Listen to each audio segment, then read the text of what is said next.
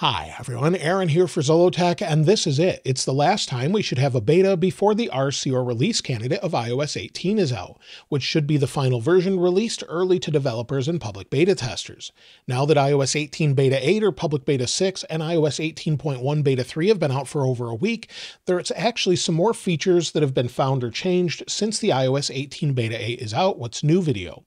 We'll talk about the current experience of iOS 18 as well and 18.1 as I've been using them full time and we'll see how they're doing for you based off the YouTube community poll, where at the time of this video, there's over 14,000 votes, 125 comments, and I've gone through all the comments to see what the overall experience is like. We'll take a look at your comments at the end of the video, but first there's some updates and features to talk about. Apple actually brought a new Find Your Mood station to Apple Music this week. So if we go into Apple Music, and if we scroll down, you'll see we have Energy, Love, Relax, Focus, Feeling Blue, Heartbreak, Feel Good. So those are new mood-based updates that you can now listen to on Apple Music if you have it. Eight games are joining Apple Arcade by October with Balatro Plus, NBA 2K25 Arcade Edition, and some others that Apple listed in a press release. So as I scroll down, you can see them, Futurista's Cat Cafe Plus, we have Smash Hit Plus, and some others. So I'll link this in the description if you want to check it out. Now, if you're familiar with Find My, those in South Korea haven't been able to use it and will be able to soon, hopefully by spring. Apple actually released a press release in their Apple newsroom for South Korea, and they actually said it's coming to South Korea by next spring. So this is great for those that want to use Find My with their phone, their iPad, Mac, AirPods, and other devices such as AirTags. This will be available hopefully sooner rather than later, but it seems like it's going to be available in the spring according to Apple. Now with iOS 18, it seems Apple is actually changing the way live activities work. These are things we've enjoyed with the clock, which is very simple. If we go into the clock, maybe start a stopwatch, we've wanted the live activity here for some time, and it just keeps us updated as to what's going on. This is actually getting a change for developers. With prior versions, a developer could update a live activity once every second, but with iOS 18, this has changed to 5 to 15 seconds according to a post on X by a developer. Apple actually informed them that this is an intended change and causes excess wear on your SSD storage as well as never being intended to actually be in real time from the start of their development of it. So it looks like it won't affect things such as Uber with timers as that's just using the clock sort of feature to count down, but there will be some update issues as far as other apps that utilize this. So hopefully Apple will maybe update that, but that should help with battery life as well as it's not using all of that power regularly. Every 5 to 15 seconds though should help the SSD or NAND flash storage.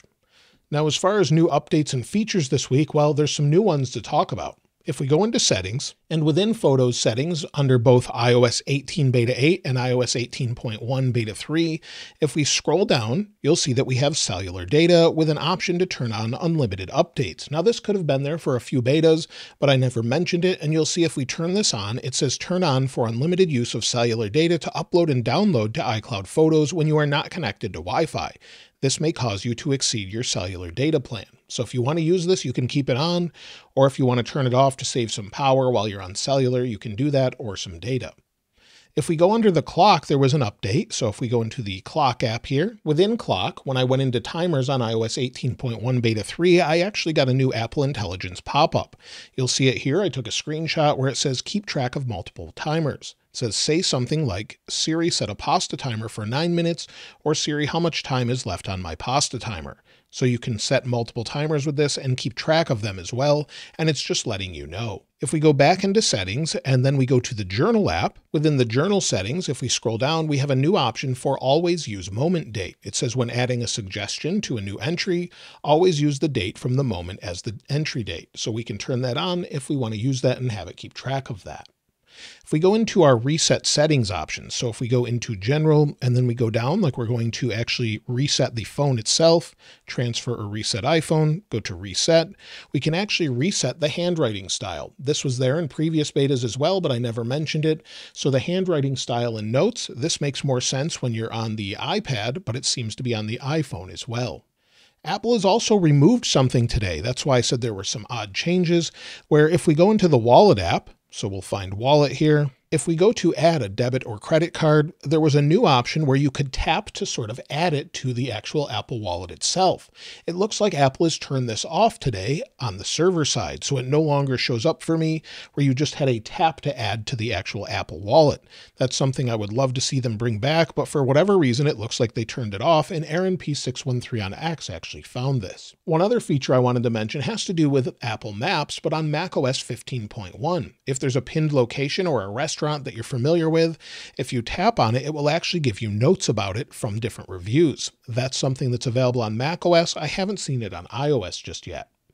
Now, iPhone 16 should be shown for the first time in just a couple days. And I did a poll on this on X where it says, Are you planning to buy iPhone 16 this year or if you're excited about it? You'll see after a day or so, there were 5,820 votes, with 36% saying they're buying the Pro or Pro Max, 4% saying they're buying the 16 or 16 Plus.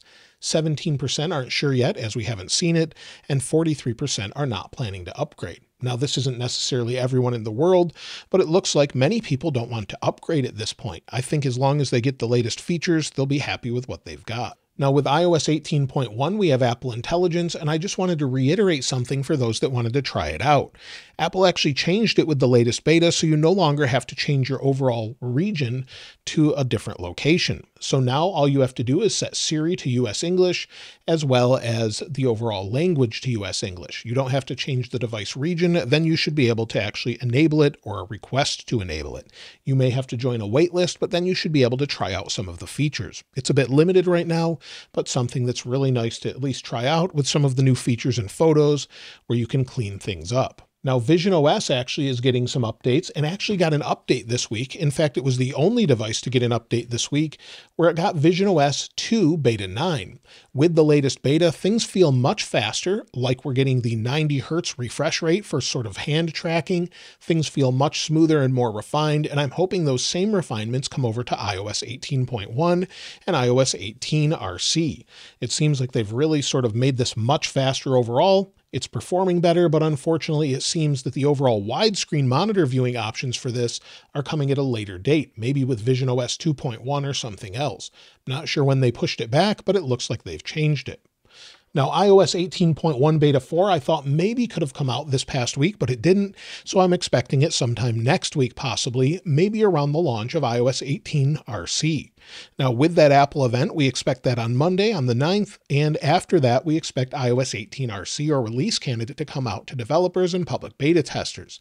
That will be the final version, unless there's additional issues, that they push out to the public later on. So the iOS 18 public release I would expect on the 16th, with the iPhone launching on the 20th with the iPhone 16 models. Of course, we could see new AirPods and much more, and Apple actually released a firmware update for Beats Studio this past week as well, where they're updating to the latest version of build number 2C318. So Beats Studio Plus have been updated. We haven't seen the AirPods update. I would expect those next week as well iOS 17.6.2 could also release, or we'll see a 17.7. We don't really know a time frame on this just yet, but we could see all of those very soon. When it comes to the overall experience, well, iOS 17.6.1 has been out for a few weeks at this point, and it's mostly great for most people, but some bugs have been there with YouTube pausing, but that could be related specifically to YouTube. Many people have said it's generally good, it's getting them decent battery life, but there are exceptions to this, but in general it seems to be very stable, and it should be this late in the year as we've gone through an entire year of iOS 17 updates. Now with iOS 18 Beta 8 or Public Beta 6, AirDrop seems to be much better. So if we go into photos, maybe we'll airdrop this that I created here. So we'll airdrop this over to my 15 Pro Max Blue here. Give it just a second and it seems to airdrop pretty quickly. No issues here. Things seem nice and fast with that, so it definitely seems to be an improvement there. There's also still some keyboard lag in this update, so some issues still going on, and the phone does get hot for some, but much better than before. Previous betas, it seemed to get very hot and in general was a little bit laggy at times. With the keyboard, if I go into notes, we'll just type this is a new note, and we are testing the keyboard and you'll see I'm going very fast and it seems to keep up just fine. I didn't notice lag here, but I did see some lag on iOS 18.1 with that. Again, if we go into notes, so we'll try it here. This is iOS 18.1 and it seems like it's okay. But at times it definitely slows down, lags a little bit. That swipe home actually lagged a little bit. I don't know if you saw that frame rate drop. I have a much better experience on iOS 18 Beta 8 or Public Beta 6. iOS 18.1 Beta 3, those has some touch issues still in Telegram. So if I'm using the Telegram app on my Telegram server or Discord, sometimes it just locks up and I can't swipe. I can't do anything. I have to close out of it and then go back into it. So for whatever reason, that seems to be specific to those couple of apps, but in general, it seems to be okay. The phone definitely gets hotter though with iOS 18.1 Beta 3. There's still additional bugs with the home screen dimming bug, but we'll go back there. It looks much better on this wallpaper. Sometimes it's noticeable, sometimes it's not. As far as standby, I've still heard some complaints about that. So with standby, mostly I'm hearing complaints on 17.6.1, not the iOS 18 betas. So if we go into standby, give it just a moment here. Let's see if we can edit. There we go. It took a second to sort of activate. It unlocked. Let's see if we can edit the color. We'll change it maybe to orange. We'll go in, exit, go back in. It's a little bit glitchy, but it seems like it's going to let me edit over and over. So definitely an issue for some, and I'm hearing about it a few times here and there, not as much as I used to. Now, before we talk about performance and heat and take a closer look at the thermals, battery life seems to be pretty poor still with iOS 18.1 Beta 3. I'm using it full time on my main device, and if we go down to battery, battery health, you'll see I'm at 92% with 294 cycles, and it's barely getting me through the day. Oftentimes it's not. So I'm down to, well, right now I'm at 42% battery and I've had 2 hours and 43 minutes of screen active time, 5 hours and 29 minutes of screen idle time. It's not getting me through the day most of the time and this one here where it used 100%, I only got 3 hours and 28 minutes of screen active time out of it. It's definitely pretty poor, but it is an earlier beta, but iOS 18 Beta 8 seems to be decent for most people. With my experience using this full time, let's switch over to dark mode here. My full time usage of this, I was able to get through a day. This device is at 52 cycles with 100% battery capacity, and you'll see the last day I used it full time, after 75% of the usage, I had 4 hours and 38 minutes of screen active time. That's an hour longer than using it 100% on the other device. So it's not phenomenal, but it's definitely better than iOS 18.1 for me. 17.6.1 seems to be a little bit better. When it comes to performance, well, I mentioned some of that before with some of the lag, maybe swiping home. That's more on iOS 18.1. But some people have said with iOS 18 Beta 8 that they've noticed a lot of lag and slowdown. Typically, a restart will fix it, but you have to give it a couple days typically for it to complete background tasks, leave it plugged in. It does a lot of that at night, and it calculates all of that, so it does take some time. As far as the overall heat of the device, iOS 18.1 seems to be a little bit warmer, and I've had both of them on at the same brightness. Let's go ahead and take a look. With iOS 18.1 Beta 3 at the hottest point, we're around 33 degrees Celsius, and on 18 Beta 8 or Public Beta 6, we're around 31.5 to 32 degrees Celsius. So there's a noticeable difference there. Just holding it in your hand, you can feel it, but it's not hot enough that you can't hold on to it.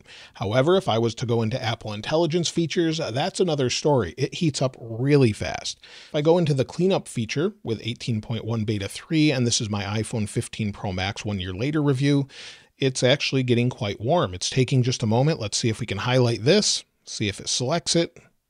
It didn't do what I want, so let's try it again. We'll highlight this just like that, see if it highlights the whole phone.